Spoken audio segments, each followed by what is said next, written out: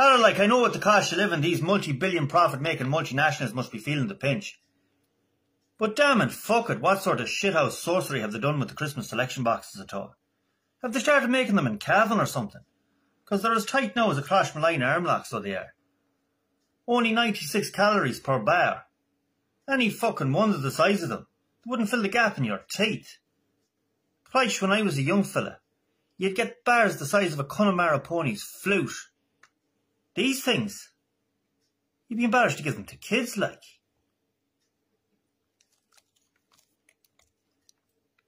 You know?